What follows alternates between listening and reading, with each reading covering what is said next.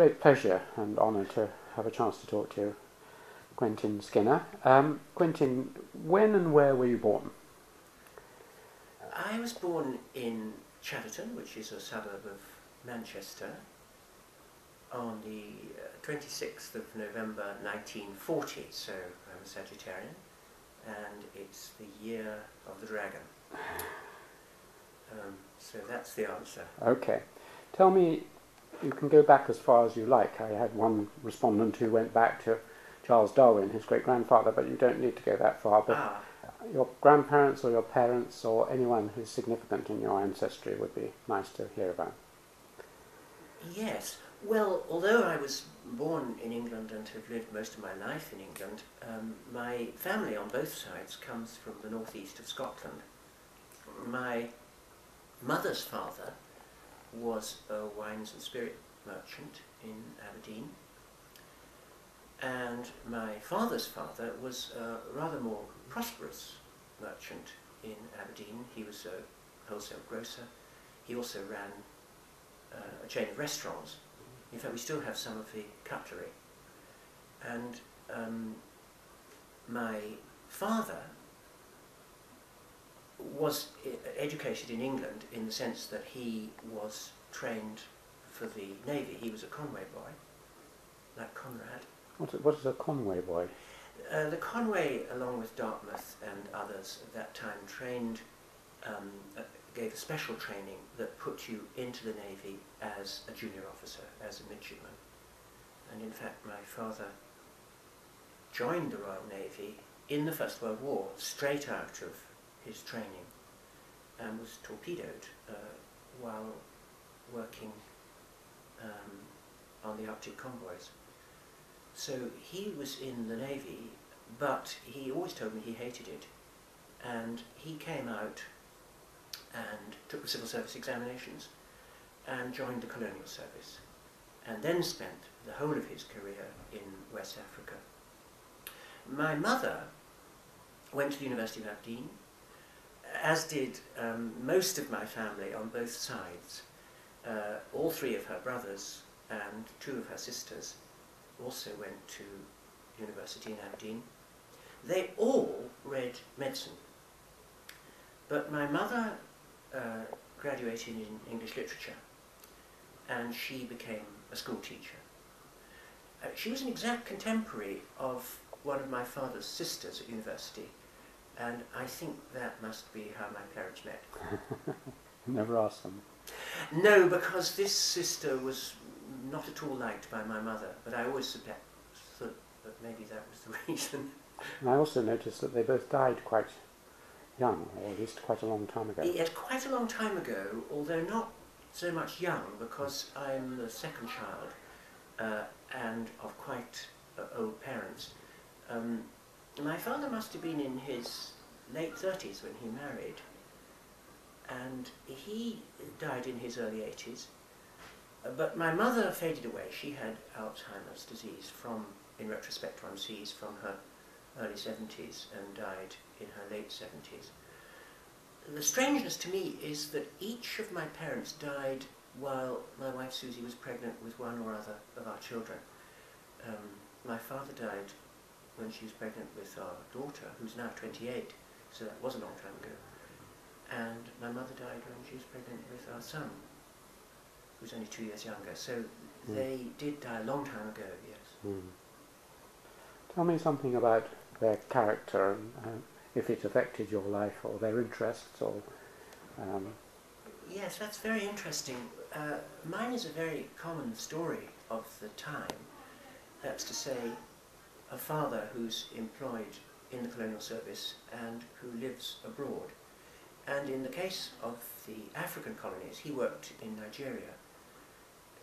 The British Foreign Office very strongly discouraged children from going out there. I've never set foot in Africa, although my parents spent much of their lives there. But of course it was endemically malarial then, and death rate for children would have been very high.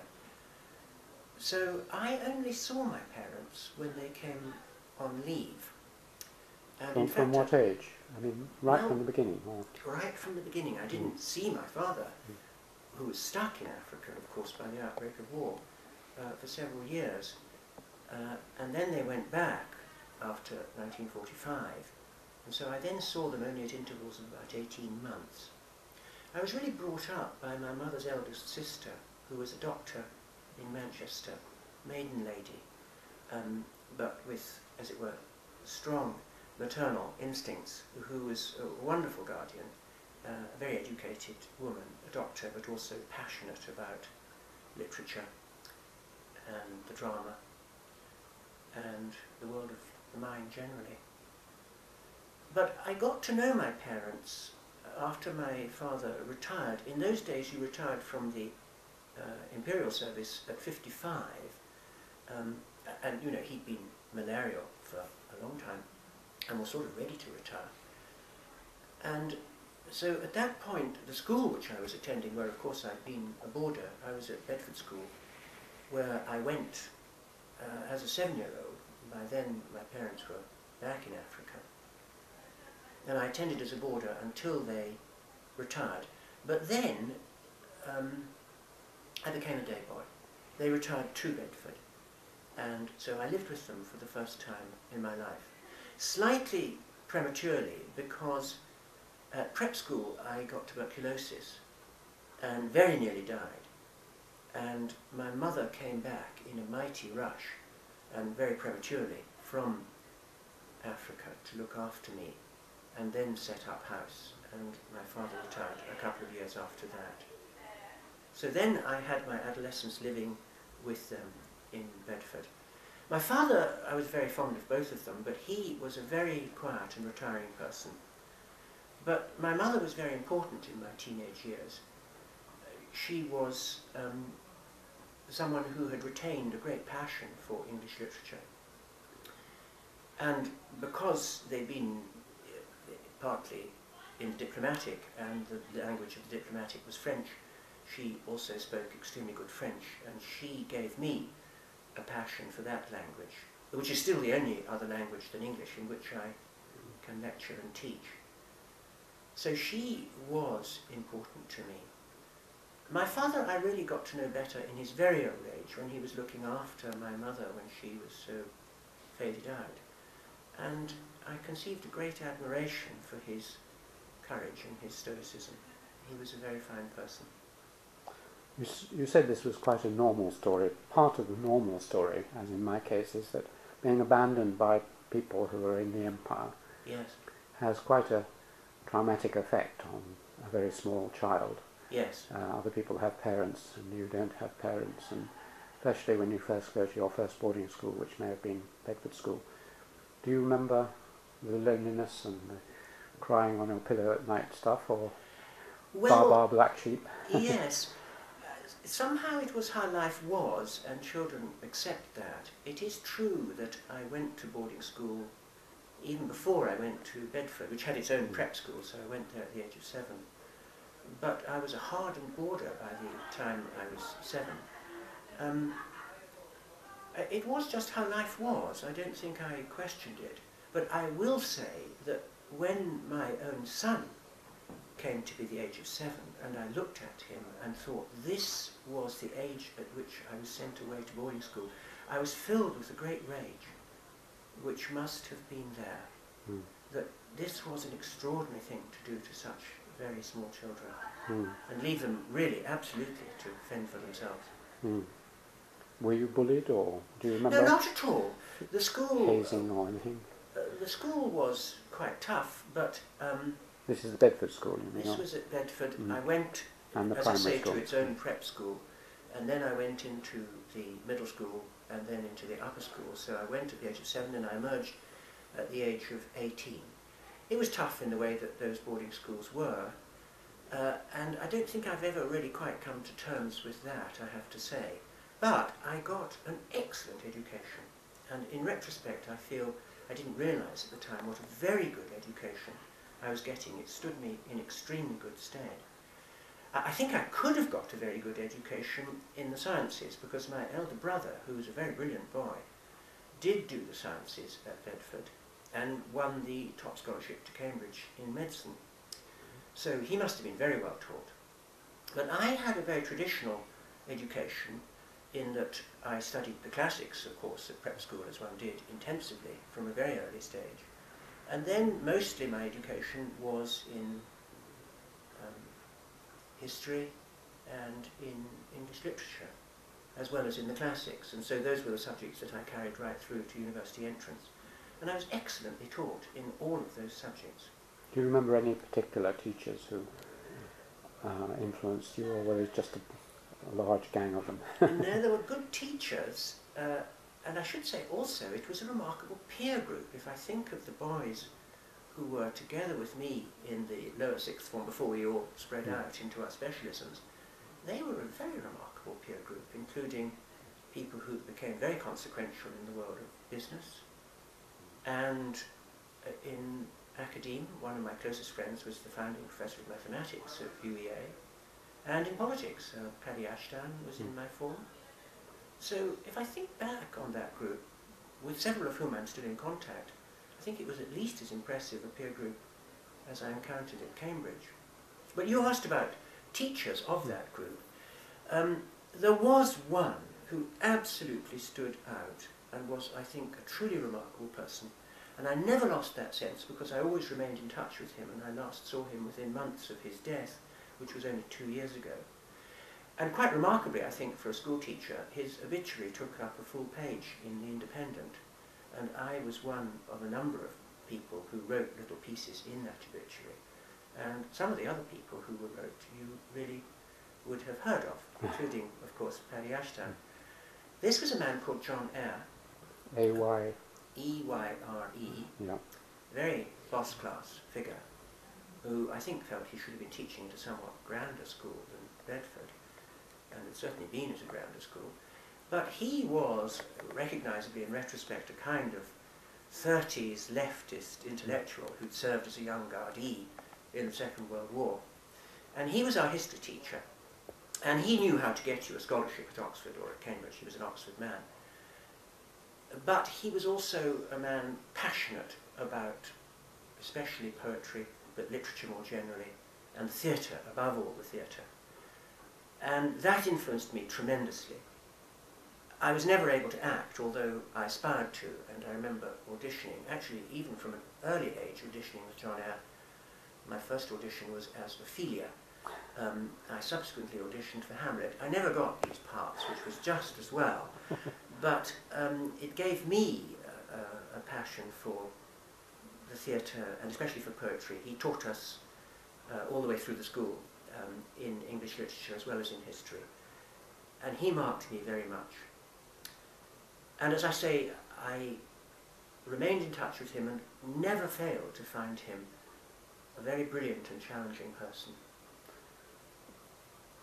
Apart from the theatre, which you didn't manage to succeed in, were there other activities? Your tuberculosis presumably precluded you from too much hearty games playing, did it? Or Well, no, I was completely cured. The reason I'm sitting here, of course, is uh, Alexander Fleming. Mm. Um, I was simply pumped full of penicillin, and Mm. in those days you were left Mm. to lie on your back for most of a year, which I did. Um, was greatly educated through the BBC, which I listened to all the time, and it turned me into a bookish boy. I Mm. sat there for a year, and I read and I listened to music. That was very formative. It happens that because I'd started my schooling in Scotland, I was very well ahead of the boys in the English prep school, and I was in a class which was of boys who were a year older than me, as well as being the top class, and I was really struggling. So my school days were very much adjusted by my having that year out, because when I returned, I returned to the class in which everyone was my age, and then I had a much greater academic success. But it never stopped me, no. I was a sort of all-rounder. I was um, captain of gymnastics, and I led the school fencing team. Uh, I hadn't thought about any of this for many years, but I suppose in that kind of school you were enforced to be an all-rounder. My guardian, my aunt, the doctor, absolutely refused that I should box. That Mm. would have been expected of me, but she Mm. rightly, of course, recognised that that was not going to be a good idea for any boy. But I played all the games that Mm. one played. Uh, and I was quite a good um, off-break bowler, although I was never a very good batsman. So uh, that was an important aspect, of course, because compulsory games was very important in these Mm. schools, as I hardly need to remind you. The other thing which mattered a lot to me, and always has, was music. And from an early age, I played the violin. Not well. I was not gifted, but I was good enough to be in the school orchestra. And of course, I liked the fact that that, together with the fact that I was a choir boy at the school, um, taught me to read music and gave me an interest in classical music and in the choral tradition, which has actually remained of extraordinary importance to me all through my life. And although I don't play, and I want to stress I was never a good player, but it matters to me tremendously. A wide range of music or particular? Uh, I have a very conservative aesthetic. Um, the heroes vary. In fact, uh, there was a period when Beethoven would have mattered most, and then Haydn mattered most. Now Bach matters most. Uh, and for a time, Handel. But that is to speak of a very conservative aesthetic. I'm very passionate about some 20th century music, especially the Russian tradition, and I trace that through from Tchaikovsky, as Stravinsky himself did and of course Stravinsky, Prokofiev and Shostakovich.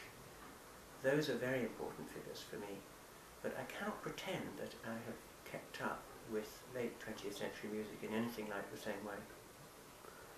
Do you, um, when you mention these different musicians, I, I was the same. There was some of my books are written to Bach, some to Mozart, some to Handel now. Handel is my great passion, but um, I actually write. I mean, I listen to them and then I go and write. Yes. And I noticed later that this is what Maitland did, that he was a great Wagnerian. He called his daughters after Wagner characters, but a lot of his writing has been analysed as having musical overtones. It, very interesting. and ed- uh, film editors do the same thing, they edit films to music. yes. Do you think it influences your writing or your thinking directly, or is it just a relaxation from it? That's very interesting, and I haven't thought about it. I did at one point have a big change in my life, which is that as a student, I always listened to music while working. At a certain point, silence became extremely important to me, and I'm a bit neurotic about having good silent conditions in which to write. And I cannot listen to music while I'm writing. I sometimes try, if I'm just doing emails at Mm. the end of the day, I might put on a piece of music, but I almost always find that what's happened is I've stopped writing the email because I'm listening to the music. And I can't do the two things. Hmm. And I like to think that this is because I'm taking the music seriously. Um, so the answer is I cannot work with music at all. I, I can't either, I don't think, since there weren't such devices in those days, um, I doubt whether Maitland did either. But No. basically, you, I listen to music, and then a couple of hours later, or the next day, I write, and I notice that the music is going on in the back of my mind, and the, the phrasing and the sentence stops and so on yes. is ref- sometimes reflecting. That's more what I was meaning, rather than listening to it while you're actually writing. Yes, that's a much subtler point. Well, I certainly find, since I listen to music a lot in the evenings, that there's almost always something in my head. It's one of the Schubert trios, as it happens at the moment. I can't get it out of my head. There's always something there. Mm. It becomes a nuisance. You can't stop it. Eventually it goes away and then it's going to be replaced by something else. So that is a continuous haunting that I Mm. suffer. And actually it can be a nuisance sometimes. Uh, and the Schubert, since it's so melancholy and it's so tragic, um, I would quite like it to go away, but I can hear it as I'm talking to you. That's very interesting. Okay, well, um, let's now. You did obviously well at Bedford, and people said, what do they say? You should try for Oxbridge, or what do they say? Yes, well, yes, I won a state scholarship, as they were called in those days, off my A levels. And then, of course, the idea in those days was you went in for the Cambridge scholarship. But I was interviewed at Cambridge uh, before the scholarship by a wonderful man called Ian Macfarlane, who was the senior tutor. Macfarlane, Yes. good. yes. Spelt the same way as Spelled does. the same way. Yeah. No, not Mm. MC. Um, but he gave me admission to the college. On This was strength- Gonville and Caius, was it? This was at Gonville and Caius. And he gave me admission there um, on the strength of my A levels and an interview. which was splendid when I came to take the scholarship examination because I didn't absolutely have to get a scholarship. Although John Eyre's teaching in that final term where everyone was groomed for scholarships was very elitist because of course there had to be a third year sixth. But John introduced us then to more general questions about historical interpretation and we read Croce and we read Collingwood. This has permanently marked me and been very important to me. I won a scholarship and so I went to Caius. But the reason I went to Caius was that my elder brother had been there. And it was a celebrated college then and now for medicine. And I remember persuading my poor old father to write to the senior tutor saying his elder son had gone to the college because it was thought to be the best for medicine, but his younger son was hoping to read history, and would Caius be a good college? It was, I can see, an impertinent letter, but we were very impressed with the two-line answer from the senior tutor, which said, Dear Mr Skinner, Gonville Caius College is the best college in all subjects. So that was good enough for us. And I went to Caius, and I was extremely fortunate to go to Caius, which was already a powerhouse in the teaching of history.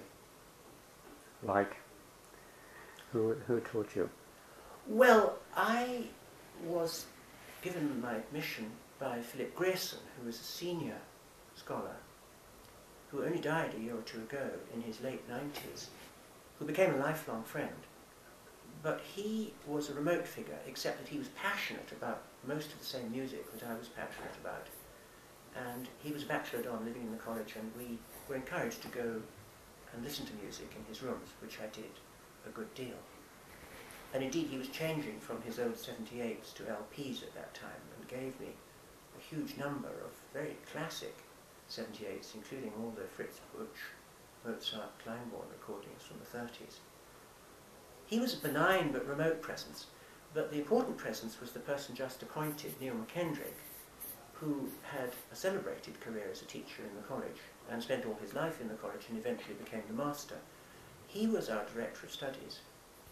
He didn't particularly press us at the level of what we should be writing in our essays. I don't remember that he did that, but he gave you a very strong sense that these questions really mattered and it mattered to think about them. And of course, it mattered to do well in the examinations. He was very keen on that. Also, he was someone who didn't use the old Cambridge system of teaching within the college. He had the revolutionary idea that you should be taught by people who knew about the subject in whichever college they happened to be lurking. Hmm. And I already knew that I wanted to work in intellectual history. I wanted to be a teacher, and I came to the university knowing that I wanted to be a teacher. A teacher at university level? Well, I wasn't sure. I had been very much encouraged by my teacher John Eyre to leave school instantly after the scholarship, which I did, and I went to teach in a secondary modern school, as they were then called. That's to say, those were the schools for the boys and girls who had failed 11 plus, and they were rather put on the shelf by the state. And I went to teach in a, a school of this character in Maidstone. It was quite a tough thing to do in that I was immediately introduced to a world which I didn't know anything about. That's to say, mixed classes, huge classes, and a, very wide spectrum of ability, although I should say, including quite high abilities which were being neglected by the binary system of education that was then in force. And that was a very powerful experience for me. And I came to university thinking probably I wanted to become a school teacher but certainly a teacher. But I did well uh, at university, and the opportunity was very open in those days, in the early 60s, to become a university teacher. You got a starred first, I know, and um, was it a part one and part two at that time? It was, yes. So you got a first at part one and then starred first at I part two? I got a starred first in both. Both. uh, and then something very extraordinary happened to me, which is that Caius College had the possibility of electing to a fellowship on Tripos results. It Hmm. had not Gosh. done that for some Hmm. time, but it did that in my case. And so I moved from being an undergraduate to being a fellow in one week at the age of 21. which was a very strange thing to happen. But a yet stranger thing happened to me in that summer, 1962, which stems from the fact that the Robbins Report on Higher Education, which was about to lift the level of the cohort being educated in the tertiary sector from 4% to 13%, had been enacted and the new universities were being set up. And as perhaps you remember, there was a big clean out of people from Oxford and Cambridge in mid-career who went to start departments in other such universities. And Christ's College lost its official fellow in history. And I was appointed to that position. In fact, it's the position I've held ever since. And that happened uh, when I was still 21 in 1962. That's a very sort of pre-modern story to tell Mm. about our educational system. It's the same story as my teachers, um, Keith Thomas and James Campbell, both Yes, um, you know, All Souls yes, Fellowship and then into a teaching fellowship. yes. My difficulty was that I went at the age of 21 into a teaching fellowship. And that was one reason why I made a slow start on my research. I had very large responsibilities at that age. I had a lot of teaching responsibilities. I was directing studies. I was doing admissions. We still had the scholarship examination for which I was an examiner. All of this struck me immediately and it did mean that my research got off to a slower start than I would have liked. Mm. On the other hand, I had a tenured position from the age of 21 and they've still got me there. Um, just returning to your undergraduate days a little more, were there any lectures? You mentioned Neil McKendrick as a supervisor, but were there either people who he farmed you out to or lectures you went to which you particularly recall as being influential and Yes. magical? The general standard of lecturing, I remember, is rather dismal. And the course was uncongenial to me to a large degree because it consisted in those days of very large outline courses and a great deal of British politics concentrating on high politics. But there were two incandescent lecturers, uh, and one was Walter Ullmann, and the other was Moses Finley. I was actually studying medieval intellectual history, and I couldn't always follow what Walter Ullmann was saying, but he gave off an incandescent sense that this mattered, and they were riveting lectures to hear. Moses Finley was simply a remarkable lecturer. I was studying ancient history for part one, and he would go through very technical discussions, for example, about how you might estimate the size of the slave population. The whole thing was done entirely without notes, and with a great effect of bravura about it.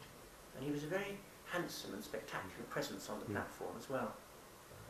But more than that, it was he who showed me that what you can say as an historian simply depends entirely on what the evidence is. And of course, he was talking about an era in which the evidence was fragmentary and conflicting, and gave one a wonderful sense of what the sources were, what they enabled you to say, where they conflicted, how you would interpret them. I found that quite tonic, and it wasn't really how we were being otherwise taught. But the other lecturer who was very important to me was Duncan Forbes, the intellectual historian. And in my final year, I did a course which we still have as a course in the Faculty of History called a special subject, which was two papers and was really about half the whole course. And he was giving one on what he called the Scottish Enlightenment. Everyone calls it the Scottish Enlightenment now. But it centred very largely on the philosophy of Hume. And I was entranced by the course and by the philosophy of Hume. And it tremendously cemented my sense that I wanted to go on to do work in intellectual history, in the history of philosophy. I must also mention, although he was not a lecturer at the time, the person who supervised my work in political theory and intellectual history, John Burrow. He was then a research fellow at Christ's. He ended his career as Professor of Modern Intellectual History at Oxford, and I'm still very much in touch with him. And he was a wonderful intelligence to be in touch with, very sceptical, very witty, very challenging, not at all my kind of temperament, but someone whom it was very memorable to be taught by, and whom I still find it very memorable to discuss my work with. This wasn't the time when you first met Peter Laslett. He wasn't teaching political philosophy at that time. Was that later, was it? Well, Peter did give a course of lectures, Mm. although he rather rarely remembered to turn up, as I recall. On his day, he was a wonderful lecturer, but he was chancy. Mm. Uh, sometimes he wasn't very interested in what he was lecturing about because he did a very wide outline course. Um, but when he was, then he was a very formidable and very original person. Mm. Peter I never met when I was an undergraduate, but I would like to say that of all the pieces of secondary literature that I read when I was an undergraduate in the subjects that really were beginning to entrance me, probably the one that most struck me was his introduction to his edition of Locke. I remember going to be supervised by John Burrow in my second year, and John saying, because the week had come for an essay on Locke, he said, well, there's only one edition to use now because it's at last been published, Peter Laslett's long-promised definitive edition. So I went out and I bought it. It had just appeared, and I read it, and it was a genuine epiphany to me. And I can still recall the astonishment with which I read a text in which a major work of political theory was shown to be part of an ongoing political debate. Now, Peter, when I subsequently talked to him about what he'd achieved in that remarkable edition, saw it in a way that seemed to me very strange. He thought that he had dethroned Locke from being a political theorist and had shown that he was only a pamphleteer. I had the a priori view, although it wasn't really a priori because I'd come to Cambridge armed with Collingwood, that probably what he said about Locke could be said for any work of philosophy. That if you could recapture it, there would always be an immediate context that made sense of the themes of the text, and that we should not be thinking of these texts in isolation from those contexts.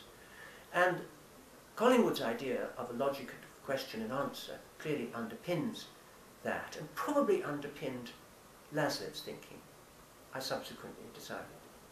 But in any case, what Collingwood's idea left with me, in, even when I was an undergraduate, and there it was reinforced in Laslett's work, which has been a thought that's remained with me and very important to me ever since, is think of these texts as answers to questions. And the questions are going to be set by the society in which and for which the text is being written. So that part of the hermeneutic, part of the act of interpretation of the text, and I've come to feel the large part, is the recovery not of what the text says, although of course it says things which can be endlessly debated, but of what the text is doing. What kind of an intervention does this text constitute in ongoing debates? I now say to my students over, for example, Hobbes's Leviathan, on which I'm giving a course at the moment, think of it as a speech in Parliament. It would be a very long speech, but it's not inherently different from a speech in Parliament.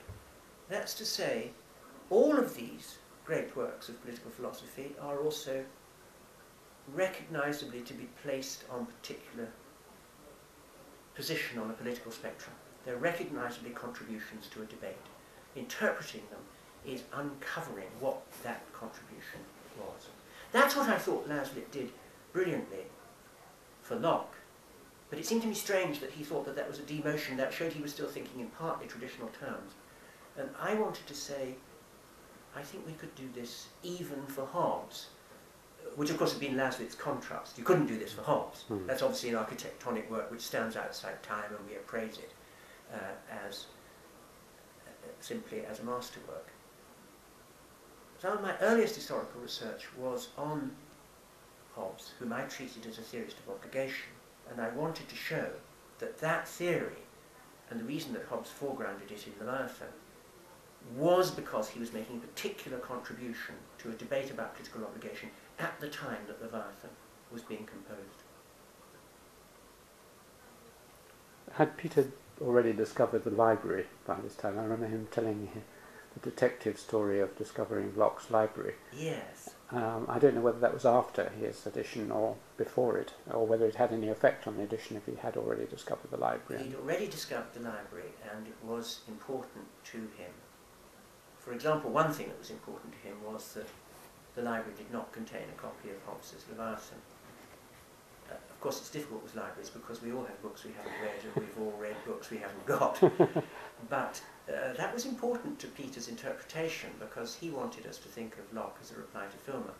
He Mm. thought it followed from that that it couldn't be a reply to Hobbes. That, of course, is a non sequitur. Hmm. But it was important to him what the contents of Locke's library were, and that was important in the edition. Subsequently, he did with Harrison an edition of the library, that's to say a catalogue. Yes, I remember. So you- you're still very young, 21, 22, and teaching very large um, numbers of students. Are there, uh, I don't usually ask this, but are there any of your students who you would particularly recall and remember um, who went on in an interesting way or Oh, yes. you learnt a lot from? Indeed. Uh, some of the students I taught in the 1960s were surpassingly brilliant, and I've remained in touch with some of them since. That hasn't been so since then, because I don't think I was gifted as a supervisor, and I didn't very much enjoy it. I always found that my mood as a supervisor depended entirely on the mood of the student. So if the student was depressed with the course or didn't think it was very interesting, I immediately felt, well, maybe that's true. I wasn't good at lifting people's spirits, so I Mm. think I was best at teaching the really gifted. Um, of my students from that period, the two who became most famous and whom I remain in touch with ever since were, first of all, Roy Porter, whom I taught all the way through and also admitted to the college, who was at all times an extraordinarily formidable scholar, unbelievably hardworking and unbelievably wide-ranging, and died very young. The other from that period, whom I also admitted to the college and taught all the way through, is now the most famous historian in the world, Simon Schama. And he I've remained in touch with. It's a bit difficult to be in touch with Simon now because he's usually in an aeroplane. but we email each other and I've remained in touch with him. And nowadays one has to defend Simon sometimes against one's professional colleagues. But he's a genius in his way and he is a lord of language. He's also a lovely person. But I cannot continue the list. In the nature of things, the list will hardly contain a large number of really celebrated historians, but I stopped supervising quite early in my career at Cambridge because in 1974 I went on sabbatical leave to the Institute for Advanced Study at Princeton. And while I was there, they conceived the idea that I should remain there and gave me a five-year contract. And in the course of that five years, they invited me to stay forever. Now, I didn't stay forever, but I did accept the five-year contract. So I was actually in Princeton from 1974 through to 1979 and only returned to Cambridge somewhat short of the end of my contract with the Institute uh, because I was elected to the chair of political science here in Cambridge. And at the same time, my wife was elected to a research fellowship at Girton, and at the same time we were starting a family, so everything conspired to bring us back home. when you say your wife, you may not want me to probe into this, but you'd been married before. yes, I married very young. Um, I was 25 when Mm. I married, although I married someone we'd been together for some time before that. But I think that quite soon we both found that we'd made a terrible She was my first publisher, Mrs. Patricia. Yes. She and I were married for a brief time. I suppose we were together for five or six years. But it, it was quickly evident to both of us, although I don't think that we were able to confess this even to ourselves, let alone to each other, that it was not a good idea. But it was not a good idea and it didn't work. Mm. And well, it came to pieces rather messily, and I left for Australia and was away for many months. I blame myself for that failed marriage, but there's no more to be said about it except that after uh, some years when I was not attached or was semi-detached, I met my present wife, Susan James, Professor of Philosophy at the University of London now, and we have been together. We haven't been married all this time. Uh, we got married when we started to have a family, but we've been together for about 35 or more years, and so of course it feels like a whole lifetime. Mm. And um, it has been wonderful. Mm. To return to, to um, Princeton, Yes, you started in history and then moved into political sciences, Yes. is that right? that's correct. Um, and your uh, page on whatever it is, Wikipedia, said this has had a great effect on you and was a very important turning point in your life. So, in what way is that true? I'm sure they got I it didn't know that. That's, that's an interesting claim. Uh, I was invited by John Elliott uh, to be a candidate for the position that I had from 74 to 75, which was in the history department. But during that year, I came to know very well the three really astonishing figures who were running the little social theory group there. And as history has continued to unfold, they have all turned out to be, as Hegel would say, world historical. And one was Thomas Kuhn, who was in the next office, whom I already knew, of course, through the structure of scientific revolutions, a work that had been very influential upon me, that kind of anti-Popperian, anti-positivist way of thinking about intellectual change. One was Albert Hirschman, whom I wasn't able to learn from directly. He was a development economist, but who was a picture to me of what it would be like to be a cosmopolitan intelligence. I never, of course, rivaled that, but he was a wonderful linguist, a wonderful intelligence. He knew everything about the history of art and literature and many languages. A stupendous figure. But perhaps the most important to me was Clifford Geertz, who became a lifelong friend and at whose memorial service I spoke last March in Princeton enormously to my sadness. And his work on cultural theory was very important indeed to me.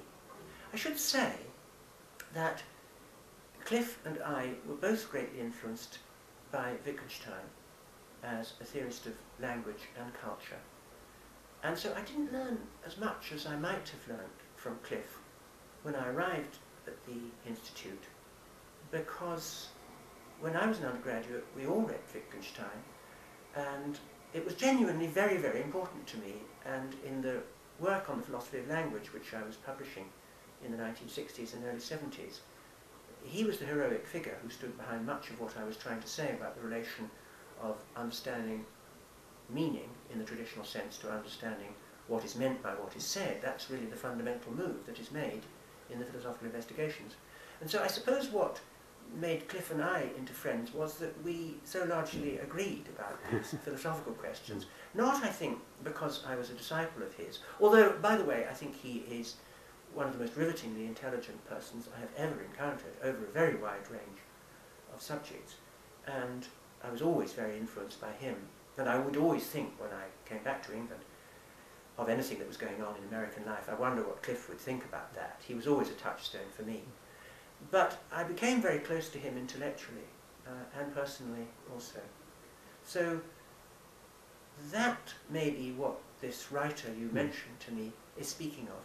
But I would say that what mattered to me most in those years that I was in Princeton was something rather different, which was that with a level of trust which shows that we're speaking of a more innocent and a better world, I was simply left to get on with whatever I was doing. Nobody particularly asked me what I was doing. They assumed I was probably writing a book. But it wasn't as if at the end of the year the director of the institute said, well, we've been paying you this fat salary, what, whatever have you been doing? But what in fact I was doing was I was trying to catch up, I think. I, I had done a lot of work in the 60s arising out of my philosophical interest that I'd come to the university with. And that work turned out to be, in some cases, quite influential. One of my essays, one I published in 1969, remains much my most cited piece, rather humiliatingly. And I eventually collected which, all those Which essays. piece was that? It was an essay called Meaning and Understanding in the History of Ideas, a very. Wittgensteinian essay. Yeah. Um, I eventually published all those essays in a book called Regarding Method. But that stopped me really getting going on historical research, along with the responsibilities I had. And although I began to do my research on Hobbes that I've already spoken about, that too only came out in the form of a number of articles. Eventually I published those as a separate book as well, called Hobbes and Civil Science. But neither of those are really proper books, they're collections of papers. But I had conceived in the late 60s the idea of writing a really general work in the history of political theory which would try to be an illustration of the view which was then fundamental to me that interpretation is a matter of recovering what texts are doing and thus situating them in the political context out of which they arose. And more fundamentally, I wanted to write a book which showed that the problems of political theory are set by politics, that we shouldn't make this distinction between political theory and political practice. Political theory is always enmeshed in practice, so that it's just the theory of that practice. So that was quite an ambitious book that I'd conceived. When I was first appointed as a lecturer in Cambridge, which was in 1965, I began to sketch those ideas in my lectures, working on quite broad canvas, but I couldn't get it all to come together. And the opportunity to go to Princeton in 1974 was for me the opportunity to write that book. And when I returned to Cambridge in 1979, and I imagine what must have got me the chair, was that I had written it. Uh, and I published it in 1978 in two volumes called The Foundations of Modern Political Thought, which was in fact my first book. But that was what was important for me about Princeton, that I was given the time, completely unharassed, simply to get on with writing something that was, by my standards, a very large piece of work.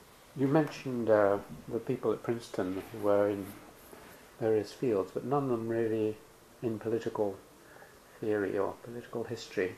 Uh, but again, the Wikipedia person says you are one of the two members of the Cambridge School, famous Cambridge School. You are one, and J.G.A. Pocock is the other.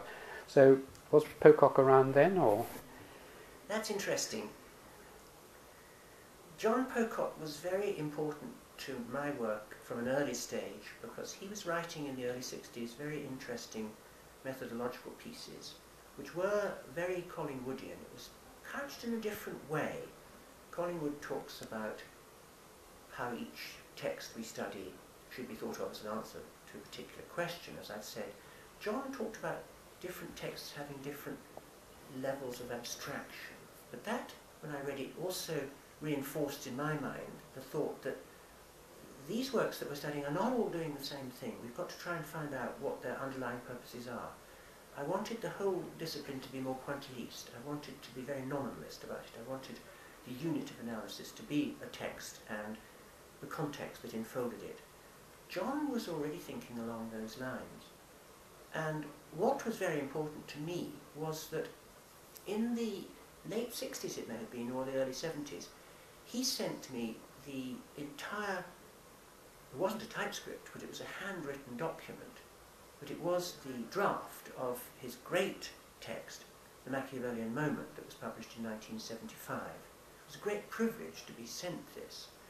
And I was sent it because he had been attracted to the two bodies of work that I had by then published, my essays on Hobbes as a theorist of obligation and my essays on meaning and speech acts.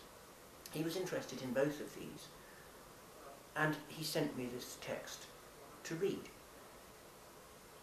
And that was very important for me uh, as a, a wonderful scholarly statement of how to think about the development of Renaissance political theory. Now, the first volume of my Foundations of Modern Political Thought was called The Renaissance, and I trampled over much of the same ground. I came quite strongly to disagree with John, and I could go into why if you liked, but I would, that I would text, like. well, that text was very important Mm. Uh, and I was very privileged by John's generosity to have been able to internalise it long before it was published in 75. Mm. So it became part of my thinking. John Pocock and I have remained in touch ever since. And my most recent letter from him arrived last week. Hmm. Uh, he's now in his 80s, but he is undiminished in power and energy. And he is a very formidable intellectual historian and a very generous one too. He's obviously of a generation older than me, but he has always been someone who has treated me sort of as a peer, but at the same time has been a massive source of encouragement to me. But? well, uh, when I worked first on Renaissance political theory, there were two orthodoxies that I was really interested in contesting, I suppose. And one was the view that there had been a tremendous shift, especially in the history of philosophy, and therefore in the history of political philosophy, at the time of the revival of Aristotelianism in the late 13th century. The other orthodoxy stated that there was another climacteric moment, and notice this continuous habit of trying to make the Renaissance start with a bang in mm. Burckhardtian vein, which placed the crucial date a century later. This was Hans Baron's fundamental thought in his classic text, The Crisis of the Early Italian Renaissance, where he saw the emergence of what he called a civic humanism, which was not Aristotelian, but which emerged, as I say, with a bang around 1400, at the time of the crisis of the city-states, and especially the crisis of Republican Florence and Visconti Milan. I came to think that both of those stories were wrong, but John Pocock, I think, had bought into the second story very much.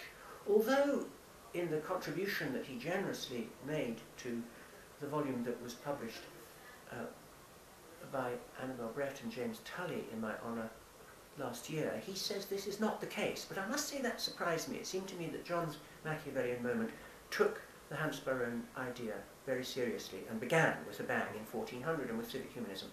What I have wanted to say about the development of moral and political philosophy in the Renaissance has always been the same thing since the 70s, and it's been the foundation of much of my research all of the way through since then, is that there was no happening with a bang what happened was that there was a kind of Roman culture that was never completely lost, and which by a process of accretion develops in the Italian peninsula with the emergence of the universities, with rhetoric being studied as a basis for understanding law, and law being the fundamental subject that was studied. And that this rhetorical and juristic culture, which was partially founded, of course, on the text of Roman law, but also incorporated all the major texts of Roman history and moral philosophy, was the curriculum that came to be known as the Studia Humanitatis, and that we can trace that right through from the 12th century right through to the period of Machiavelli and Guicciardini and later. And that was the book that I tried to write. So that was a very non-Pocockian sort of book. But for me, that was the beginning of what would be called a research program. That set of views that I arrived at really informed all my work for the next 25 years, and it's a program which I've only just succeeded in rounding off. Were you influenced by Southern, R.W. Southern at all, I mean his 12th century Renaissance? Because in a sense he's saying that the Renaissance starts in the 12th century and not in the 14th, and yes. the revival of universities and so on Absolutely. is a continuation. Yes. Did you come across his work? Of course. Well, we all read The Making of the Middle Ages when mm. I was hmm. an undergraduate, and in a frankly, as I've said earlier, rather dismal landscape of medieval history, that shone as a beacon of hmm. extraordinary mm. imagination and intelligence, and of course it's also a wonderful piece of prose, mm. extraordinarily lucid. But it still had this idea that there has to be a moment which is the Renaissance, and really that's what I've been trying to contest. That Burckhardtian image has died terribly hard. I've wanted to contest that all the way through. There's no moment. It's the gradual accretion of a humanist culture. And what interested me was the way in which, if you look at some of the great milestones of moral and political philosophy in the Renaissance, you can relate them back in different ways to this culture of Romanitas. The texts that were crucial were the texts of Livy and Sallust amongst the historians, and to a lesser degree Tacitus, and among the philosophers, above all, Cicero and Seneca. That curriculum, as it were, more or less did it for you. And when I wrote my book on Machiavelli, which was the first book I wrote after the Foundations of Modern Political Thought, what I wanted to show is that the understanding of Machiavelli is the understanding of him as a kind of a Roman moralist. But he's also a satirist of some of those qualities that were admired. But the whole discussion of the relation of virtu to fortuna and virtu and fortuna to libertà, that whole discussion of freedom, virtue, glory that you find in Machiavelli, this is a recognizably Roman story. And what's remarkable about Machiavelli is the satirical turn that he gives to some of that. So that was one moment in my research program. A later one uh, was the book I wrote about political painting in the early Renaissance, which had been understood entirely as an expression of scholastic values. And I worked in particular on the famous cycle of Lorenzetti in Siena, on which, as I say, I eventually wrote a book, trying to show that the right way to interpret the context, the intellectual context in which this was written, was that this was a re recovery for a city republic in the mid-Trecento of these Roman values about freedom and the common good and the relation of virtue to the promotion of freedom and the common good. And so I offered a reinterpretation, which I'm afraid has remained controversial, um, which wanted to say that these cycles have nothing to do with the recovery of Aristotelianism. They're all part of this humanist culture that I was seeing developing all the way through. I suppose the last part of that cycle of works that I wrote, which stemmed from work I originally did in that first volume of the Foundations of Modern Political Thought, was that I became deeply interested in classical theories of freedom. Eventually I came to think that those theories differed in a really challenging way from the way in which we nowadays have tended to think about political liberty. And I became interested, first of all, in that rival way of thinking about it, and I wrote a, a little book on that, which emerged out of my inaugural lecture as Professor here, which was my book called Liberty Before Liberalism. But I also became interested in the question, when did we stop thinking about liberty in this classical and very different way and start thinking about it in a more familiar way? And the book that I've just managed to finish is about that theme. But I, have come to think that this insight, which is not exclusively mine, but which I've worked away at about these rival ways of thinking about freedom, has been the most important of the things that I took from my study of Roman antiquity and its influence in the Renaissance.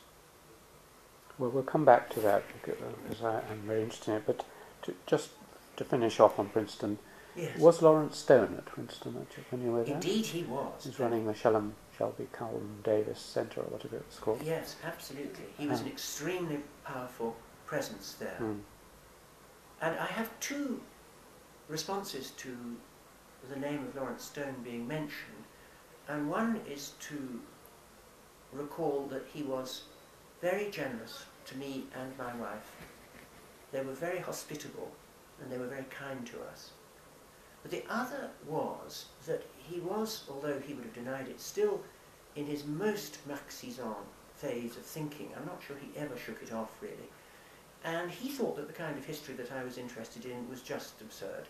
There was no study of intellectual history that was going to be of any autonomous interest. Because, because why? I think because Lawrence thought something like, you know, if you tell me your annual income and your class background, I'll tell you your beliefs. He must have thought something like that. He thought the whole thing was epiphenomenal with respect to some more real kind of history, which is what we ought to be studying. And he was not merely uninterested in what I was doing, he was sort of actively hostile to it. And that was the tone in the Department of History at the University of Princeton at the time. It likes to think of itself in retrospect as having been concerned in that period with cultural history in a Geertzian way. But that was not my experience of it. And I kept out of their way, which has always been my instinct, in fact. I've never really very much enjoyed talking about my work until I've done it. And I never once went to the Davis Centre seminars in all the years I was at Princeton. I just sensed, as soon as I saw the semester's list of what was going to be talked about, that it was going to make me miserable because they would all be talking about things that seemed to me, frankly, of very little interest. And they were going to take the view that what I was doing was of no interest. and the best way of keeping one's spirits up and continuing to write this large book was just to sit in my office and write it. So just as I was a rather boring undergraduate in that way, I think, so I've remained a rather boring scholar in that way. I just like to get on with it